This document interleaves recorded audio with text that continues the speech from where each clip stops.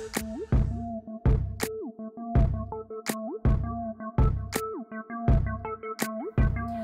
there, what's up? I'm Priyanka from Let's Talk College and in this video we are going to talk about the different components of the college applications process. Now just a quick background about this series. If you've ever attended a live event or the ones on the, whether that was in person um, or whether that was via Zoom, then you know that the last couple information sessions that we do tend to be anywhere from an hour and a half to two hours. And that's just a lot of information for one person to process. So taking that into account, the libraries team and I decided that we'll have basically a couple of short videos. Uh, the goal is about 15 minutes or less, just talking about the different components of the entire process. And that way you can watch them at your own convenience and based on whatever topic it is that you want to learn about. So with that said, let's get started on the different components of the college applications process, the overview. Now, there are four different components. First one is the coursework. Second, we have testing. Third, the personal. And finally, the fourth, we have the miscellaneous.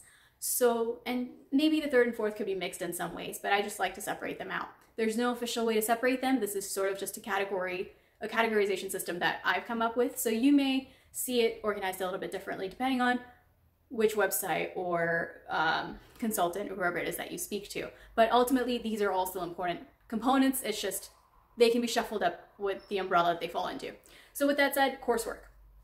Now, coursework varies by student. It varies by school. And I know there are a couple of rules that students have to follow when it comes to not, let's say for Barlow, no taking AP classes before 11th grade.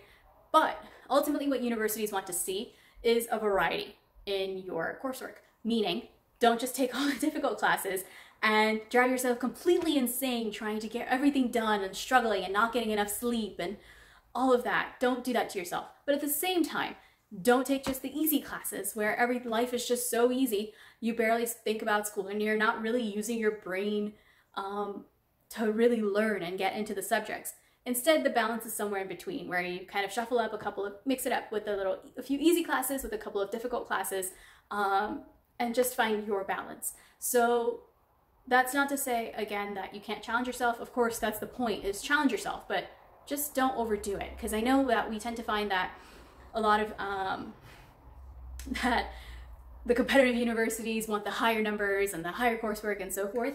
And with that, so I want to take a quick pause here and show you this little chart from niche.com.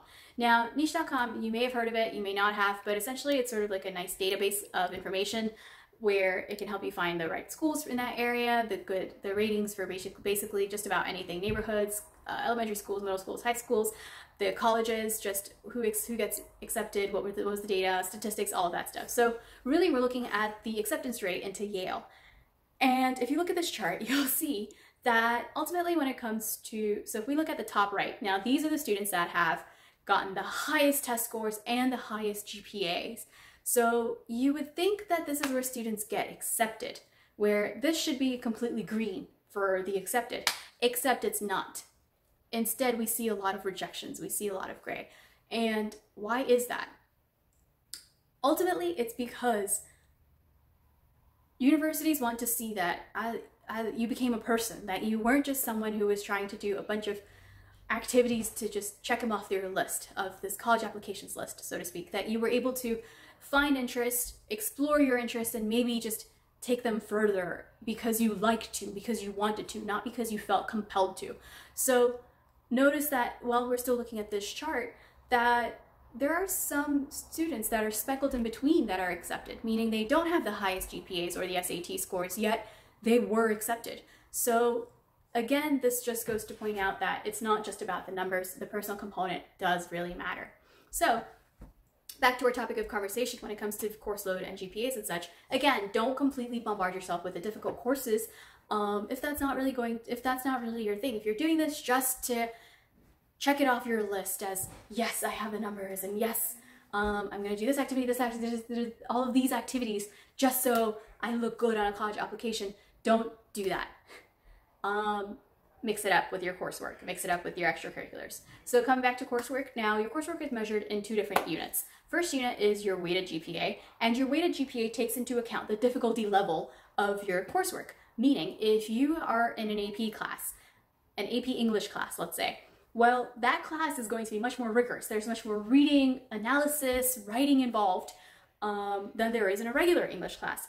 And therefore, let's say if you get an A in an AP English class, well, that took a lot more effort, a lot more time than getting an A in an English class would. And a weighted GPA takes that into account. So technically you receive a, a higher bump for getting an A on your in your AP class than you would for just a regular English class. That applies, the same principle applies for honors classes versus regular classes. Ultimately, the weighted GPA just takes into account the difficulty level of that class. Unweighted GPAs, on the other hand, do not. These are the standard GPAs um, and what we think of when we think of GPAs, which are the typical out of 4.0, where do you stand? Good place to stand um, would be a 3.0 and above. So if you're in that category, you're doing really well, just make sure you keep it up. If you're trying to get, again, into a really competitive university, 3.5 and up is ideal. Um, but remember, it's not just your numbers, so make sure you have the other, the other parts of the application to back you up. Now with that said, um, brings us to the next category, which is testing. Now, because of COVID, we know that testing is a little bit up in the air when it comes to how universities process it, because a lot of universities have gone test optional at this point, and we are going to have plenty more videos about just testing and the breakdown between the two exams, SAT versus ACT, and the scoring and so forth. But the most common question that I get right now is how should I take the SAT? Or should I take the ACT? And how do I know? Ultimately, it comes down to what universities are you applying to.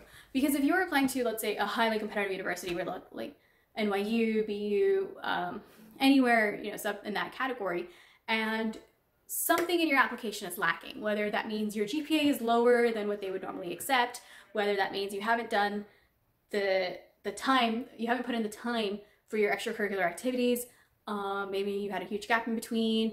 Uh, I've also had students who had concussions because of their sports and so forth, where led to a dip in GPA and uh, you couldn't do anything with extracurriculars. Well, either way, if you're trying to compensate for some portion of your GPA or your application rather, then yes, I do recommend that you take the SAT or the ACT.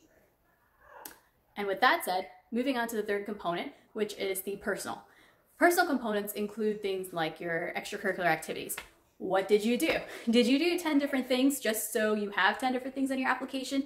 Or did you do two to three things, but they were really something you were completely into and you went above and beyond because you really liked it? So what did you do with your extracurricular activities? And note here that there is no um, hierarchy, so to speak, meaning someone who plays sports is not better or worse than someone who simply chooses who chooses to do community service, volunteering. It's really this is a very subjective area because that's pretty much the first part of the application. The numerical values are really the only objective components, and now we've entered the subjective area of which one's better, volunteering or community or uh, sorry sports. And the thing is, there is no ranking system. It's just what did the student do with the opportunity that they had? For example, I've had students who love their sport so much that they would then go out after all these hours of training and everything that I cannot comprehend because I have never in my life played a team sport, but apparently it's a thing. So I've had these students who just, even after all the practices and the games and with the schoolwork and everything, they will still go out and say, okay, you know what, I love this sport so much and I want to make sure that let's say these kids in Bridgeport or from anywhere else that just don't have the same advantages or the same resources to play the sport also get the opportunity to. So we're going to go out as a couple of us and or whether it's through a program, whether it's just through us and we created this project, but we're going to go just let them have fun and play soccer or help them play basketball or just coach them. So they went out of their way to now turn their sport into a community service project. Um, and it's something they enjoy. This doesn't feel like a burden to them. They actually look forward to working with these kids. So now you've found something that you enjoy doing and don't mind dedicating the time to. When an admissions officer reads that essay or reads that explanation in that application, that means so much more than the person who was like, yeah, I volunteered at a, at a homeless shelter, but then I also did this for the environment, and then I also did this at another soup kitchen, and then I also played this sport, and then I done I played this sport because it was this season. Like that's just a lot of if you enjoy it, if you truly enjoy it, that's great. But if you're doing this to check it off, then they can usually tell. This, as an admissions officer, it's their job, so they can usually tell um, if the student was into it or if this was just a forced event, so to speak. All right, so that's that goes for the extracurricular activities. Next up on there, um, personal statements and supplemental essays. So personal statements or the college essay. Really, this is your first time, your first opportunity to introduce yourself to the admissions officer. Because other than that, everything else has been data, including your extracurricular activities. Because ultimately, um, you haven't really had to. They haven't. They've seen all the variations of activities at this point that you can possibly provide, be, simply because of the influx of applications that they usually have to read. So that's all data. But now this is the first time that you as a student get to introduce yourself, to show your personality, um, and add a human component to this application. So this this essay is really where you get to show if you're funny, if you're serious, if you had a, if you've worked hard on something that you really enjoy and interest, so forth. So this is the first time that you get to include your human component, um, and as such, do not BS it. You cannot emphasize that enough. Don't just BS it. Think it through. Um, all right, then the next part is your supplemental essay. So supplemental essays are really an extra essay that comes, or essays, that can come up depending on whichever universities you're applying to. So some universities have no supplemental essays and some and some can have up to 3. How do you know and what the topics are? Well, usually you can find them the essay requirements on the university's website. As for the topics, they vary, again, found on the university's website, but topics could be things like why us, why our university, to who was um, who's someone that you admire, um, explain one of your extracurricular activities in more detail, and some get funky, like if you could be an object, what object would you be and why, or if what is page 89 of your autobiography. And really when they get funky, it's just to see what your thought process is and what it is that, how you were gonna connect the dots and explain yourself. So word count on the personal essay or college essay, approximately 650 max. And for the supplemental essays, we're really looking at somewhere around anywhere actually from 150 to 600, really just depending on the university in that case. So those are the major components of sort of the personal section. And then we move on to the miscellaneous. Now, I, I categorize it under miscellaneous because it just, it's kind of random in some ways because that is where the recommendations are. So some universities require a couple different recommendations and some will just say, no, we only want the counselor recommendation and that's it.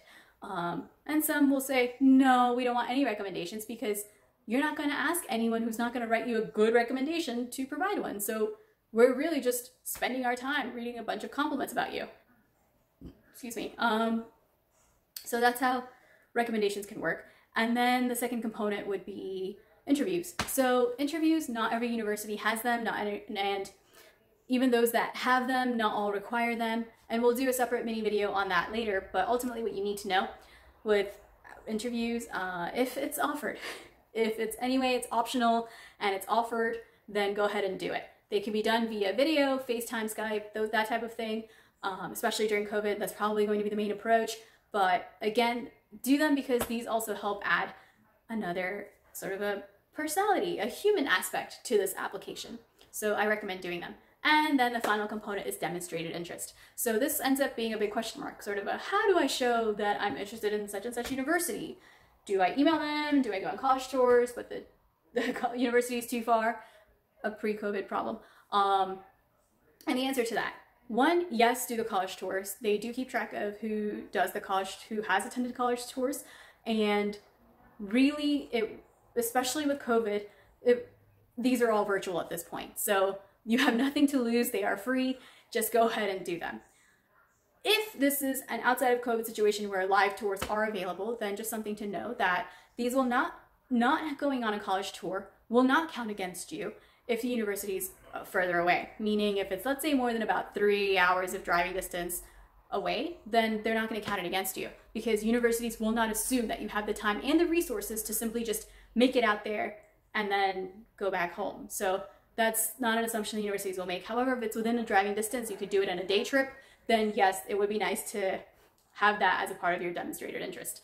Um, other ways, they uh, contact the university if you have any, or admissions office if you have any questions, genuine questions, not, not something that you could have read on one of the university, you know, one of the pages uh, or resources that the university provides. So don't show that you haven't done your homework. Instead, show that you really did. And now here's a particular program and you have specific questions or something on that line. Um, and finally, another way to show demonstrated interest is to apply with early action. We will discuss the different deadlines a little bit later on, but with early action, all you really need to know, it's it's not binding, it's just an earlier application deadline.